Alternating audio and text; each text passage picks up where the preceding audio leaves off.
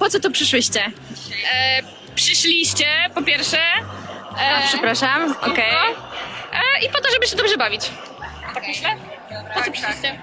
Coś jeszcze? Jakieś, jakie są według Was takie najważniejsze postulaty środowiska LGBT? No myślę, że się skupiamy na tych małżeństwach na razie.